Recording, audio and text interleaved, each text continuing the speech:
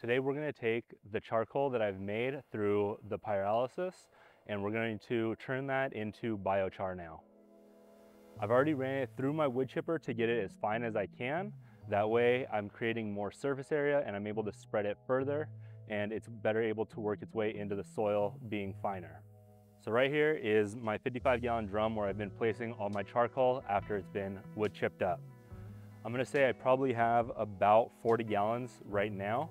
So I'm gonna go ahead and start filling this up with some water and then we're gonna go ahead and activate it to turn it from charcoal into biochar. There are a couple different ways to take your charcoal and turn it into biochar. Now, one way is to just take this charcoal and add it to a compost pile and let that work its way in and it'll get all the microbes and the fungi that are in your compost. It'll get into it and then you'll have biochar and it's already incorporated into your compost. So then when you put that out in your garden, it's already, and it's already alive. Another way, if you don't need to necessarily add a lot of compost to an area, but you just want to improve your soil health and you just want to add just the biochar, then you can activate the charcoal and make biochar and then spread it. So for me, what I like doing is the Jadam liquid fertilizer that I've made in some previous videos. I like to take that and add it to my charcoal and then also add in water. So that way this entire thing is, sub is submerged for about two weeks and then it'll be alive. It'll have this nice rich fertilizer in it and all those microbes that will eat and break this down.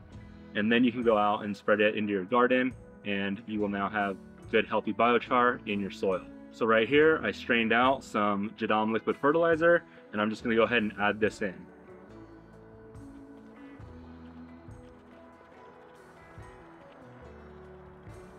Now, if you don't have Jadam liquid fertilizer, another great way, doing the same process of just keeping your charcoal in a drum and then adding liquid to it, you could definitely put fish emulsion in here and water. Another way is to take worm castings. What you can do is take a five gallon bucket and a paint strainer, put worm castings in it, add a bunch of water, and then just kind of work it around so you're making an extract. It doesn't have to be worm tea where it's uh, cooked. This is just an extract where you're where you're just washing all the microorganisms out of it into the water column, and then you take that five gallon bucket and you pour it into here. There's not an exact uh, amount that you should add, so you're just gonna have to play with it if you do decide to make your own biochar. Like right now, I added one gallon of Jadam liquid fertilizer, but I'll probably add in a couple more gallons, and then I'll add in, and then the rest of the drum will be water. So there isn't a set amount of either fertilizer or microorganisms that you need to add because there's just so much space in here. Uh, there's it's hard to say how much you'd actually need. So by taking a lot of worm castings and getting an extract out of that and then adding it in, you're gonna bring life to it. So you may wanna do 10 gallons or 15 gallons of the worm extract or 10 gallons of your Jadam liquid fertilizer. It's whatever you have to help bring life into this uh, charcoal to make it biochar. That's what matters. So I'm gonna go ahead and start adding some water into this now. And I figure since we're talking about it, I may as well do it. So just in case you don't have Jadam liquid fertilizer available, or maybe you don't wanna use the fish emulsion, I'll show you how to do it with your worm castings. I have my finished worm castings right here that I've made. I'm just gonna take some and put them into into this little mesh bag. All right, so now that I have this in my little mesh bag, I'm gonna go ahead and dunk this into the water. Now I'm just gonna work the bag to get all the microbes loose and get them into the water column. So that way when I put this water into this, uh, this container, it will be bringing all that beneficial life into this charcoal. All right, so I've worked this for a few minutes. I've gotten a lot of nutrients out of it into the water. So I'm gonna go ahead and set this off to the side. And now we can put this into our bucket. And you can just see just how dark this water's become from the worm castings.